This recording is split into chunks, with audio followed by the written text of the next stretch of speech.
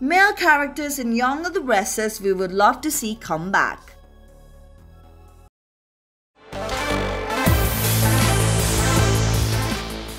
Young and the Restless has been airing some classic episodes since the time the soap ran out of new episodes to air due to production halt and lockdown.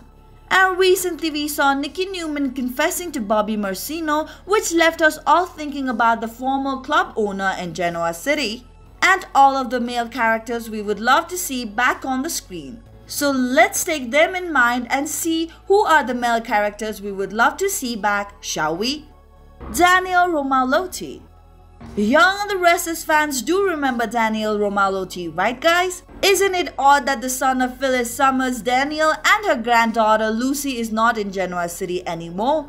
We all know he left town and has been living in another state with his lady love Heather Williams. So do you think it is about time for all three to come back? This will even give Paul Williams a family member in town as well. And if not, and if Heather and Daniel have called it quits, then maybe he can come back with his daughter, right? As we all know, he and Lily Winters have history, and how can we forget his past with Abby Newman as well? Bobby Marsino. Well, Young and the Restless fans have not seen the former bar owner, Bobby, after he got into the witness protection program and it was said that he had died on a hit and run scene but only on off screen. So do you think that there are some chances that he could come back? The former mobster turned club owner was a handsome hunk and he even shared a tragic connection with Nikki. We all know that he first admired Nikki when he was a teen golfer in Bayou. And we saw him when she was having flashback to being present when Bobby's brother was shot and killed. So do you think he would come back? Noah Newman.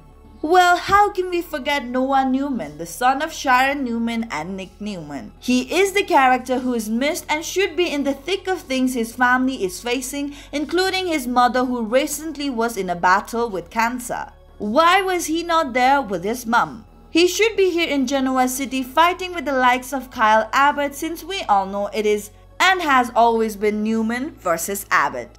Deacon Sharpe well, Deacon Sharpe's appearance, whether it is in Young and the Restless or The Sister So Bold and Beautiful, it always leaves the fans ribbed up. Things are never dull when Deacon is in the city. And with his past connection with Nikki, Victor Newman, late Dinah Jenkins, and the dumpster interlude with the redhead, his return will be fun. With his involvement in the story this time around, Deacon can up the heat in Genoa City.